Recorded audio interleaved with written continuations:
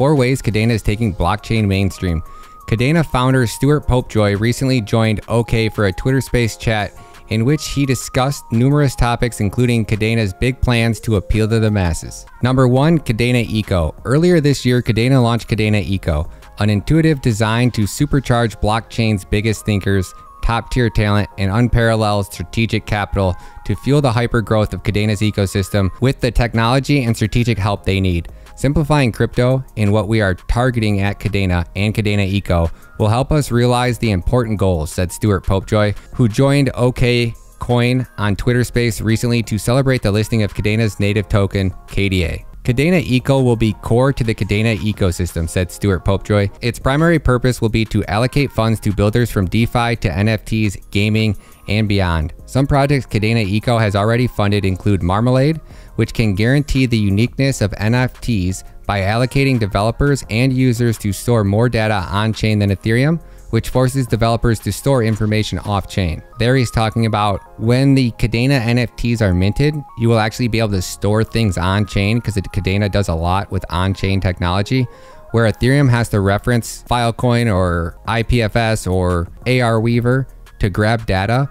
So Ethereum NFTs are referencing a third party, which you then technically have to trust the third party where Kadena will be able to mint that information and put it directly on chain so there won't be that need for that third party. Number two would be Pact. Kadena has created a native smart contract programming language more intuitive and more powerful than Ethereum Solidity. While creating our smart contract language Pact, we studied not only Solidity and Ethereum's virtual machine, but also Bitcoin script, noted Popejoy. Something that Bitcoin script reached for but quite did achieve is a language that is powerful enough and fundamentally safe and protects you and dApp developers from bugs that really should never have been allowed there in the first place. While Satoshi fell short, we believe that we have achieved this goal.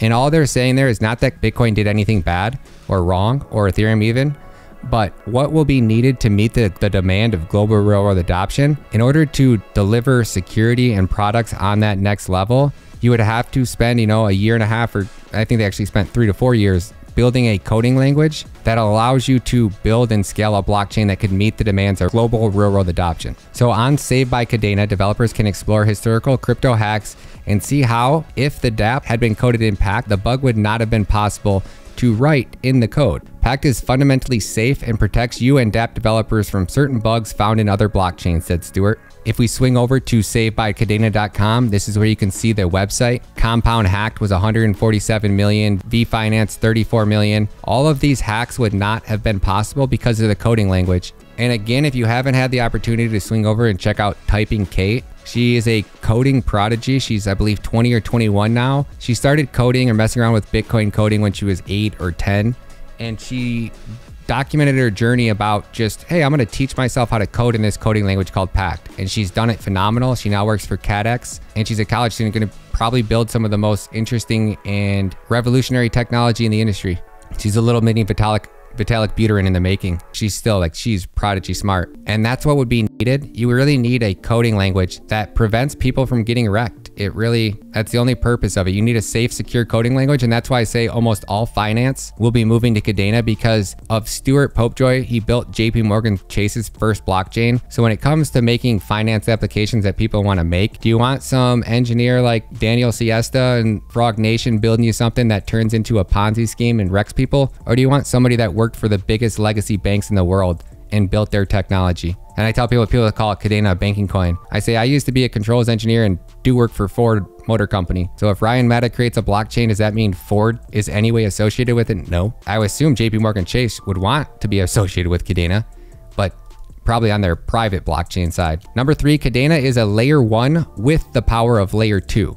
So during the Twitter space, Popejoy noted how layer two technology introduces complexity. Lightning Network on Bitcoin is a good example of some complexity that results when you start putting other systems on top of layer one blockchains. It just changes the trust model and the threat model. So Bitcoin's awesome, but the Lightning Network, which is centralized and implements another potential layer of failure, not necessarily the greatest. It would be awesome if Bitcoin did what the Lightning Network does without the Lightning Network. One of the things we're shooting for to make Kadena's layer one as usable as possible for the average dApp developer and crypto user one more important way to help users is to ensure low fees. Layer 2 solutions don't guarantee low fees. Stacks doesn't help Bitcoin with its fees, said Stuart Popejoy. There's no solution to high fees on Ethereum presently. Our system has low fees because it's scalable.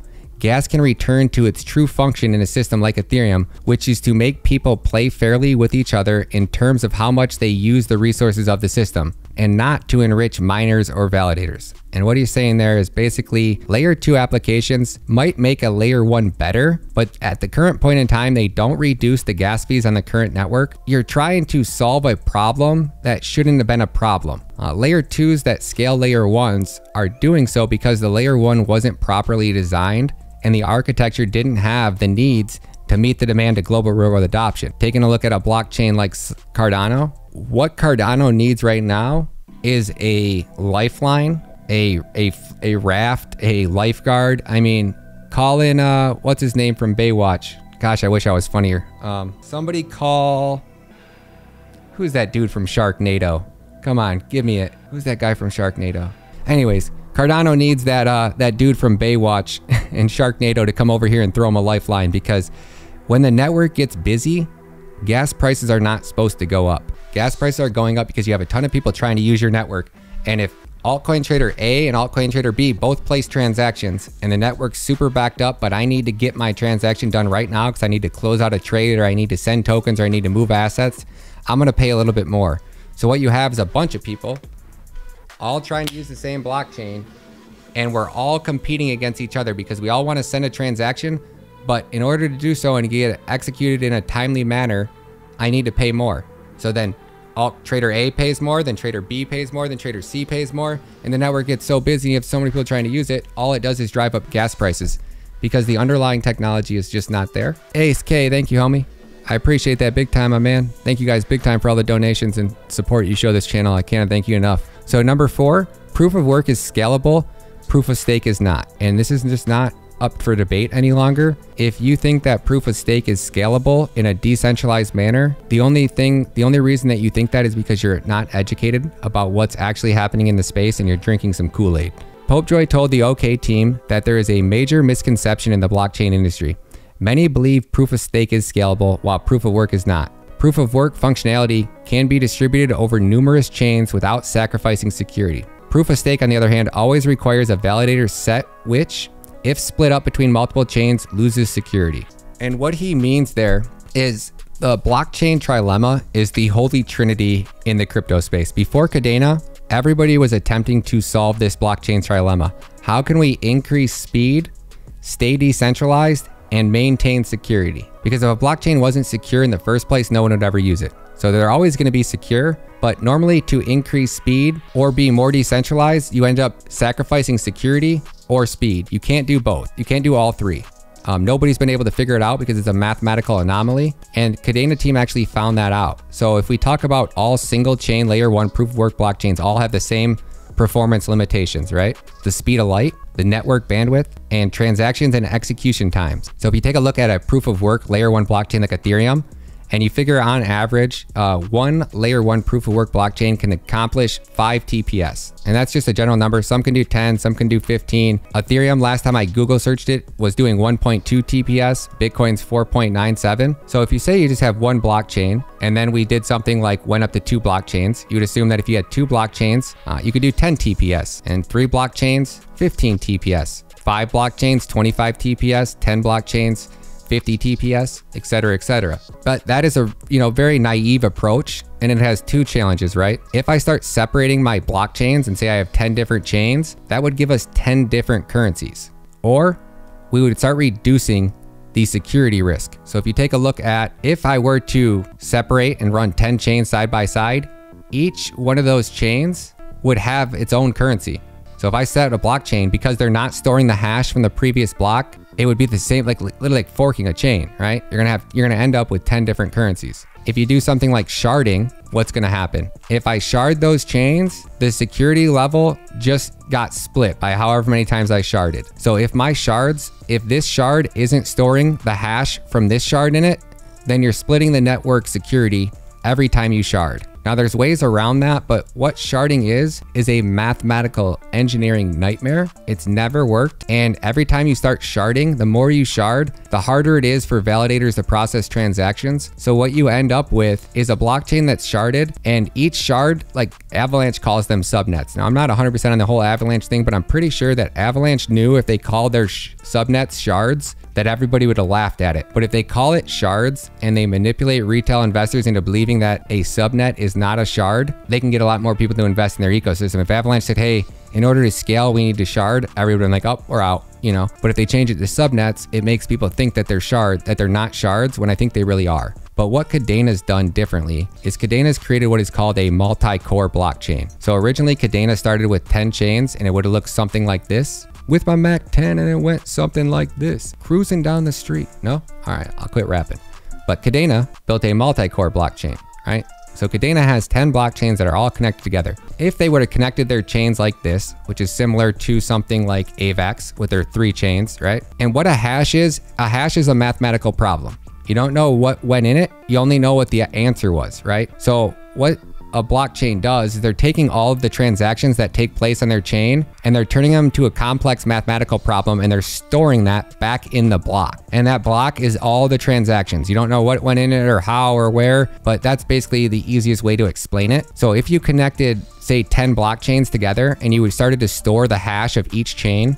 So for example, if these shards, if they were storing the hash of every shard in the main block and you were always able to reference that shard, uh, it would be a different story, but it's what ends up happening is as these other sharded chains scale, the size requirements to store all of that data in one block. So if I wanted to connect 10 chains together, I could, but I would have to store the block, the hash from every single chain in that block, in every block. So the size requirements of a blockchain would be so big and you know you could do it with 10 i mean even 10 chains would be hard but i think you could do it with like five chains all connected together and store the hash of every block but you're still going to hit a point where five chains just isn't enough and then if you if you say you had to store on 10 and you went up to 20 chains you'd literally be storing the hash of 20 different blockchains and then eventually you wouldn't have any room for transactions left in your block because the size would be so big so what kadena did is they they first launched with 10 blockchains. And if you see, like if I wanted to go from chain one to chain, my bad. I wanted to go from chain one to chain two to chain three to chain four, right? If I wanted to make it from here to here, I can't go directly across, right? I have to go into this chain, come out of this chain and come in on this chain. So Kadena built what are called gas stations and it looks like this. So Kadena went from 10 chains to 20 chains. And when they were at 10 chains, guess what they were doing? And what Kadena's done, right? This is what their blockchain looked like when they had 10 chains. So again, if you wanted to go from point A to point B, guess what you'd have to do? You'd have to go into this chain. How am I saying that? So one, two, and then if you wanted to get to this chain, you're three hops away from the farthest chain. Some chains you're only two hops away, but sometimes you're three hops away. So this would give us, if I wanted to go to, yeah, you're only two hops here. When they went up from 10 chains to 20 chains, this is what it looks like. So now I can go from, again, from, say we started on this was our home chain, and I wanted to go to any other chain, I could go one, two, three, I'm at it, right? Or I could go one, two, three and I'm at it, you are only one, two, three. You're only three chains away from whatever chain you want to be on. So what Kadena did was they built gas stations. So when you say you want to go from chain one to chain 20 and chain 20 is three hops away, uh, you just hit the send button. You don't see what's going on in the background, but what the Kadena blockchain does is it sends your tokens to one chain, it burns them, it recreates them on the next chain, and then you're good. Or it then sends them to the next chain and it burns them and then recreates them. So it it's super, super cool how they did this and how they proved that they can scale is A, they started with 10 blockchains and went up to 20 just to show the world that, hey, it can be done. But this is the mathematical problem because you're talking about when they go to 50 chains, right? How does it work? When they go to, you know, 100 chains, how does it work, right? And they use what's called the graph theory degree diameter problem. This is a mathematical problem that people have been basically working on. I think if you search like the the traveling salesman theory, it's kind of like that, right? Uh, if you're delivering for UPS and you have to take 50, you have to make 50 deliveries. What is the absolute fastest way to go to all 50 deliveries? Uh, there's so many mathematical things in there that you can't solve that problem, but in theory, you can take something like a graph and say, okay, if Kadena has three chains and they're three hops away, they can get up to 20 chains, right? And then if they are four hops and four hashes, they can get up to 100 chains. And then when they go up to five hashes and five hops, they can go up to 624 chains, right? So when Kadena goes from, I don't know, 50 to 100 chains, the size of the data getting stored in their blockchain is not going to increase. So Kadena has figured out a way to scale exponentially the layer one, and that's what's going to build the layer two. So every proof of stake, JS, thank you so much. Every proof of stake system that is trying to scale has had some hard limit that they are going to hit eventually. When you take Kadena's design approach to distributed over numerous chains, proof of work proves more scalable than proof of stake. Fact is that proof of work based layer one technology can handle industrial use cases along the lines of clearing the entire US stock market onto Kadena. We can do that today, said Stuart Popejoy. That's the scale we are talking about.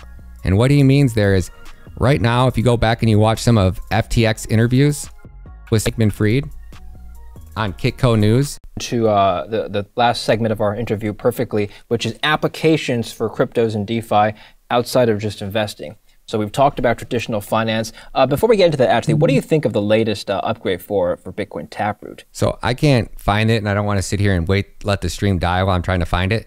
But Sam Bankman, in one of these interviews with Kitco News, he's asked, "What do you think about blockchains that are currently in this industry and I assume that he didn't even bring up Kadena or wasn't on his list of applications because he states that not one blockchain in this industry could even support just the transactions that the FTX blockchain does today.